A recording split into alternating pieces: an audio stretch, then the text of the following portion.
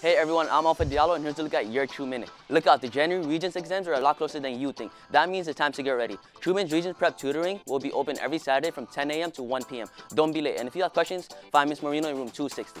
It's election time at Truman. You've been hearing from the ca candidates for class officers and tomorrow you'll cast your ballots. Good luck to everyone who is running for office.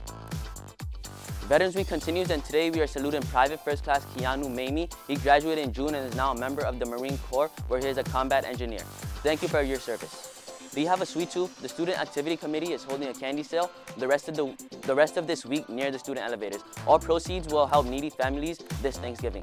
We go to Florida now because all of the weirdest things happen in Florida. You remember Fred Flintstone? Well, check this. Well, check out this driver who converted his smart car to look like the cartoon. Cops pulled him over, but it turns out it was all a joke.